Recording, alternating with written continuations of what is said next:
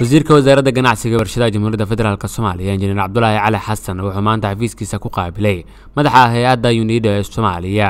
oo wada shaqayn xoogani kala dhexeeya wasaaradda ganacsiga warshadaha xukuumadda federaalk soomaaliya. Injineer cabdulaahi cali xasan oo ay kulanka ku helinayeen wasiiru dowlaha wasaaradda daahir cabdi cabdulaahi agaasimaha guud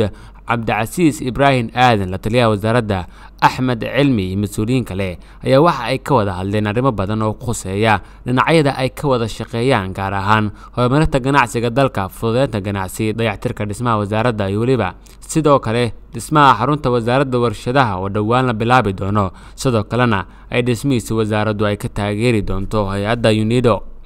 madaxa hay'addani sakasiya oo halkaasi ka hadlay ayaa sheegay inay ku faraxsan yihiin inay wada shaqaynta dhowlo leeyihiin wasaaradda ganacsiga islamarkaana ay diyaar u yihiin inay ka taageeraan sidii loo horumarin lahaa ganacsiga warshadeynta dalka. Wuxuu ballan qaaday inay diyaar u yihiin dhisidda xarunta wasaaradda warshadaha iyo sidoo kale horumarinta ganacsiga dalka ugu dambeyntii wasiirka ganacsiga warshadaha xukuumadda federaalk soomaaliya injineer cabdulaahi cali xasan wuxuu hay'adda uniida uga mahadceliyey wada shaqaynta dhow ee ala leeyihiin wasaaradda mashaariicda ay ka taageereen dibudhiska ay ku sameeyeen wasaaradda ay taageeradooda tooska ah ee ay mar walba la garab taagan yihiin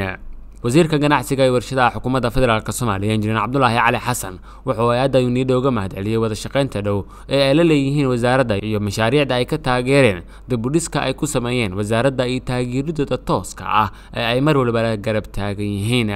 Maxamed cabdiraxmaan xasan shabeelle t v muqdisho.